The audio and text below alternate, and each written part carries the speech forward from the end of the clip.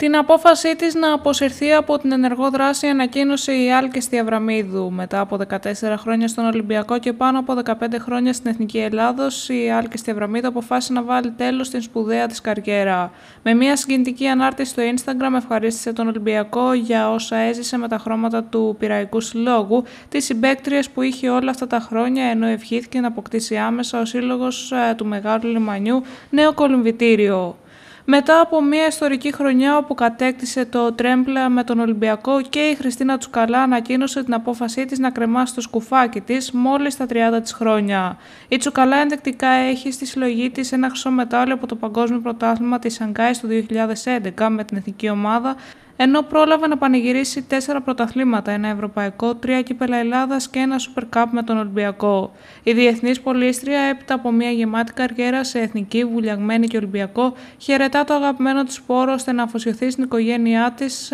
που τόσο πολύ τη στήριξε στις αποφάσεις της ανά τα χρόνια που ασχολούνταν επαγγελματικά με το πόλο. Θλίψη έχει σκορπίσει στον αθλητικό κόσμο η είδηση του θανάτου του άλλοτε Προέδρου της Διεθνούς Ολυμπιακής Επιτροπής, Ζακ Ρόγκ, ο οποίος απεβίωσε σε ηλικία 79 ετών. Ο Βέλγος αθάνατος ε, υπήρξε ο 8ος πρόεδρος ε, της ε, Διεθνούς Ολυμπιακής Επιτροπής με θητεία από το 2001 έως το